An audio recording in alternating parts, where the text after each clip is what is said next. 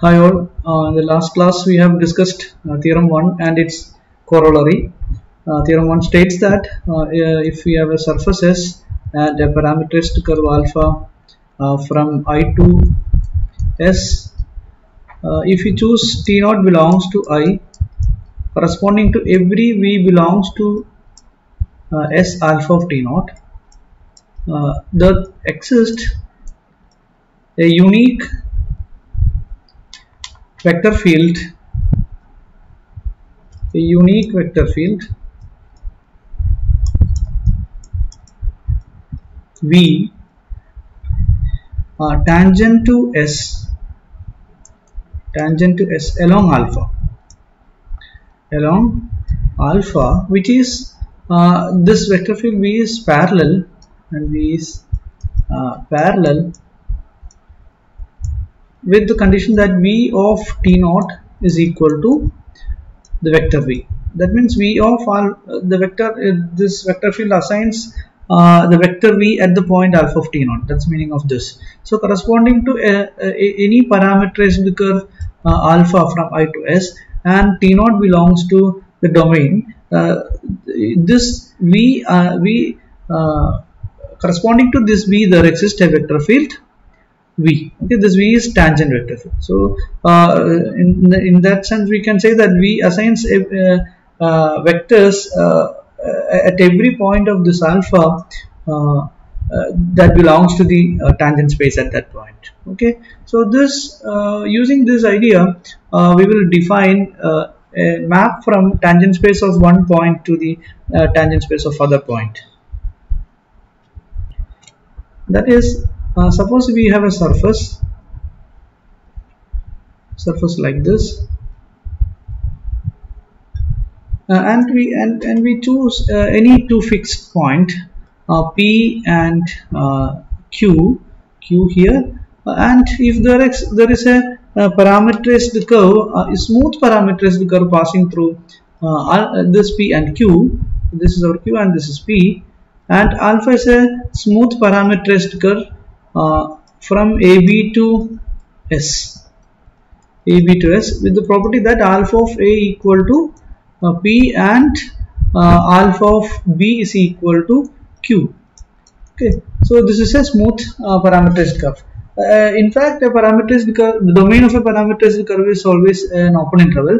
Uh, here I use that alpha as a uh, parameterized curve from closed interval AB so this is in the sense that there exists a uh, parameterized curve alpha prime uh, alpha prime uh, from this i to an open interval i to s. And this alpha is the restriction of that parameterized curve smooth parameterized curve to this interval okay with this property. So in that sense you can write this alpha as a smooth parameterized curve uh, from p to q okay. So if you consider such a parameterized curve then corresponding to each v belongs to uh, s uh, P uh, that means if you consider a, a tangent vector field uh, vector space the tangent vector space at this point then there are a number of tangent vectors are there. If you choose such a V V from SP then corresponding to each V belongs to SP there exists a, a vector field V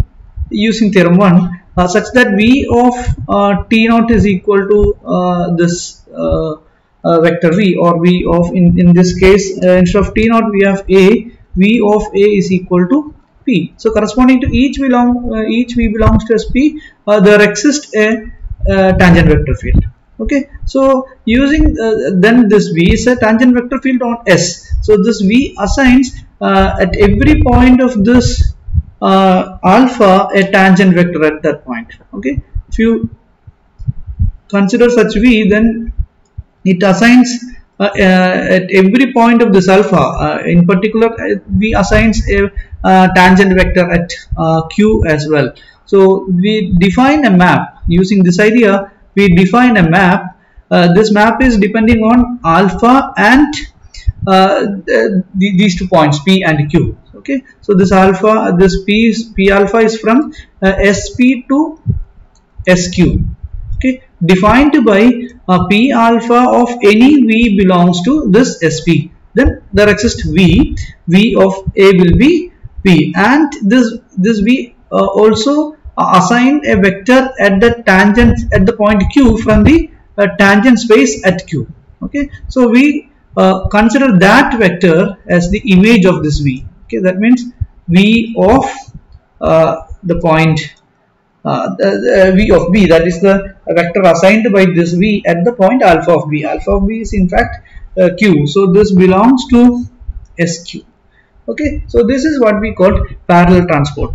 Uh, this is called parallel transport because this uh, p alpha uh, uh, translate the vector vector in the tangent space of v parallelly at, to a to a vector at the q which is in the uh, tangent space of q. Okay in that sense we call this uh, p alpha as the parallel transport. Okay. For example consider uh, for example uh, consider for each theta belongs to r uh, alpha theta of t. This is cos theta sin t sin theta sin t and cos t.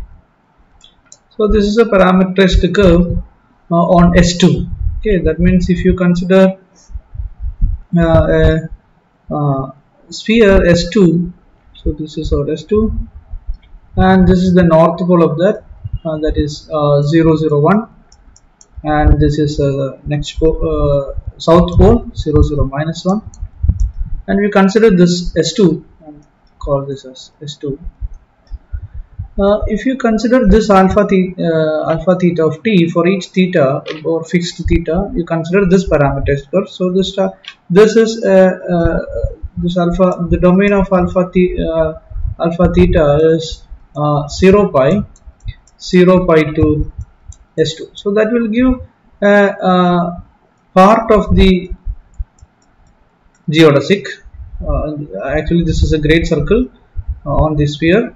So this is the this is this part the part of the uh, great circle on this s2 so this is a geodesic. So alpha theta of t is a uh, is a geodesic.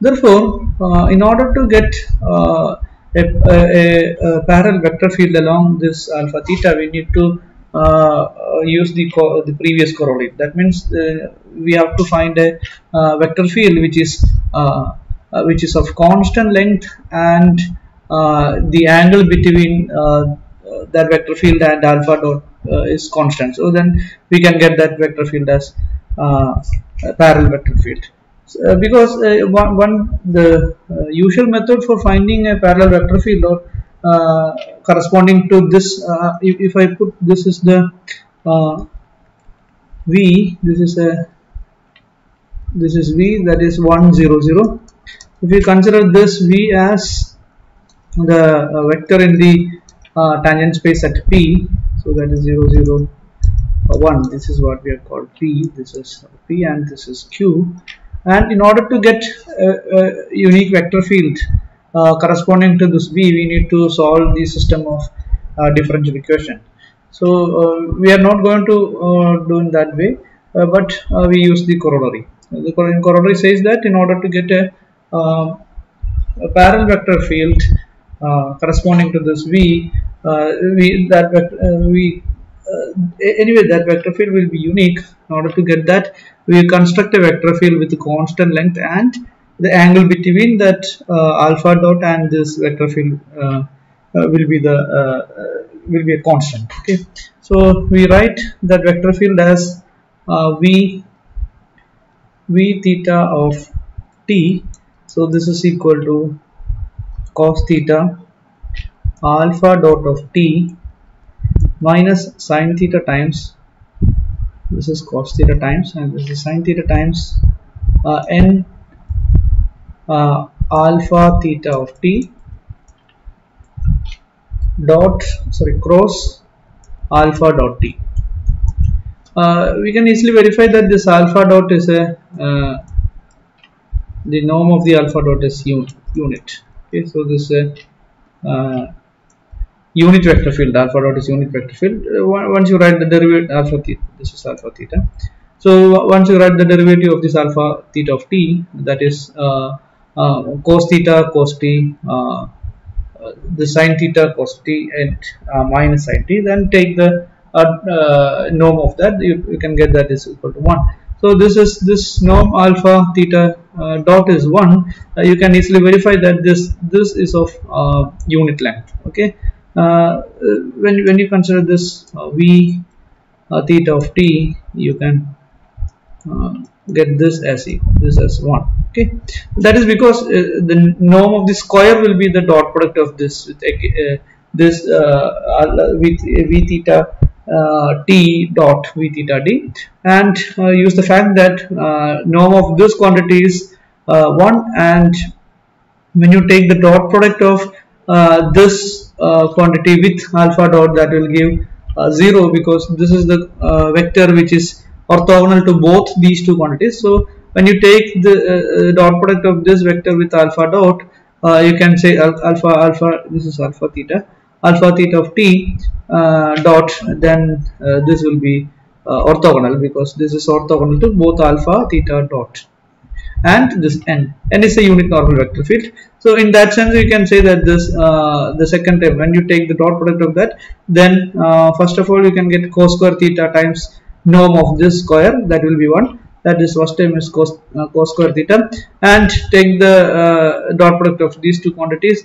Uh, then uh, you can get this dot this the second term contains alpha dot alpha theta dot dot this uh, cross product that is again 0 and the, and the final term will be uh, sine square theta times norm of this square and this is a unit unit length vector because the length of the n will be 1 and length of this alpha dot alpha theta dot is 1 and sine of the angle between them. Uh, the angle between these two quantities is 90, so the sine of angle between them is again 1. So you can get the final term as sine square theta and cos square theta will be uh, plus sine square theta will be 1. So that will uh, give this norm of uh, v theta of t is equal to 1. So uh, you can get this uh, norm of v theta not v theta of t is equal to 1 and the other requirement was the angle between v theta of t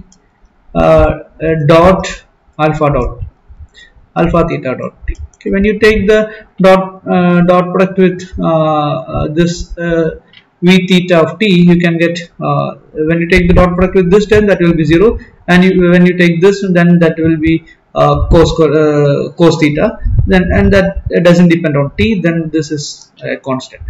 So using this facts you can say that this v theta of t is a parallel parallel tangential vector field.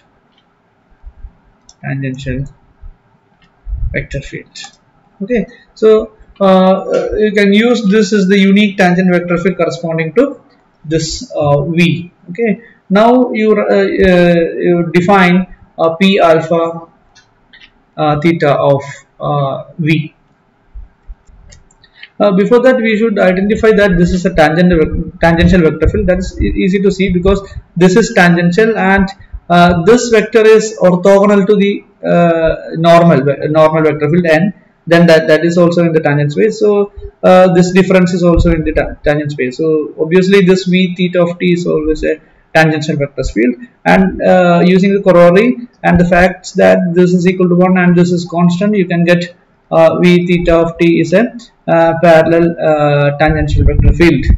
Because this al this alpha theta dot t is a sorry alpha theta of t is a geodesic. That is idea. Geodesic. Okay now we defined uh, p alpha theta of uh, v. That is equal to uh, v of that pi. Because this is the uh, this alpha uh, starts from uh, 0 pi to s. Okay? So we define this is alpha theta. P alpha theta that means the map corresponding to this alpha theta is p alpha theta of v is equal to v of pi. So this defines the parallel transport parallel transport okay. Now uh, uh, you can evaluate this uh, explicitly. So this is equal to cos theta times the vector at q that is minus cos theta minus sin theta 0 minus sin theta times the vector at q that is minus sin theta cos theta 0 uh, in order to get this you have to evaluate what is uh, alpha theta dot and what is this cross product and put the value uh, t is equal to pi in that in this expression. Then you can uh, get this one. And you uh, simplify this uh, you can write q comma this is minus cos square theta minus cos theta sine theta comma 0 minus of when you multiply it with sine theta the first uh, that vector at q will be q comma uh, minus uh, sine square theta uh, comma that is uh, sine theta cos theta comma 0 so this will be q minus q comma uh, here we have plus here plus this is plus and this is this will be minus. Then that will be uh, cos square theta minus cos square theta plus sine square theta that is minus uh, cos 2 theta. And this will be minus cos theta sine theta minus cos theta sine theta that is minus sine 2 theta comma 0 okay. Now we take a negative sign uh, outside then that will be minus of q comma uh, cos 2 theta sine 2 theta 0 so this is that vector. Okay so for each v uh, uh at the point p uh, we can get a uh, vector at q. This defines the parallel transport corresponding to this alpha theta of t. Okay, so this this parallel transport trans uh, translate the vector at p uh, to a vector at that is a vector like this. Okay so that translates this vector to uh, this point. Okay you can observe uh, what is that point? That is minus of uh, cos 2 theta sin 2 theta comma 0